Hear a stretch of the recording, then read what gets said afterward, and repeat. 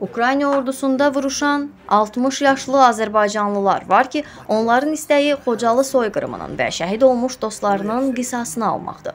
Bu sözləri Kanal 13-ün efirində İlxan Nuriyev Rusiya-Ukrayna müharibəsindən danışarkən bildirib. O əlavə edir ki, Ukrayna tərəfində döyüşən hər kəsin öz motivasiyası var, amma Rusiyanın nizami ordusu müharibəyə həvəsli deyil. Ukraynada 56 dövlətin, 56 millətin mən deyərdim, nümayəndələri e, Ukrayna tərəfdən döyüşür.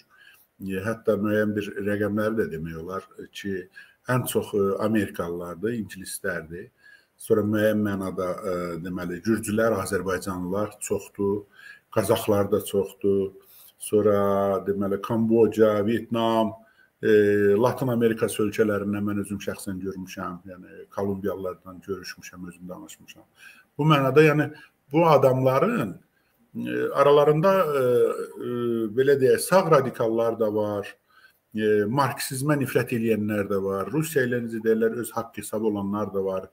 Hər kəsin bir motivasiyası var. Məsələn, Azərbaycandan heç kəs burada e, təbii ki, hamısını tanımaq mümkün deyil, amma məsələn çox millətçi bir neçə nəfəri mən tanıyıram. Onlar 1-ci Qarabağ savaşında 2 nəfəri məsələn şəxsən yaxından tanıyıram.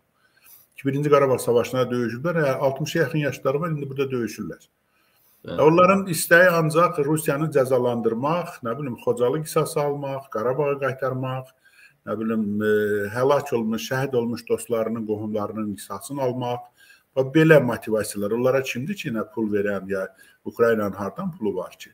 Amma Rusiya tərəfdən belə deyək, e, muzlulardan və müharibədə xüsusi marağı olmayanlardan başqa e, deməli e,